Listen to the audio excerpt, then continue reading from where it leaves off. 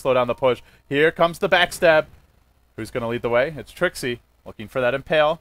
He worms his way through the trees. Sentry Ward gets dropped. There's also a Radiant Sentry Ward nearby. Now Fly popping the dust. In comes your Impale. It only connects on one. It does find Misery, though. Isolates him on the backside of the fight. But this Wraith King's going big.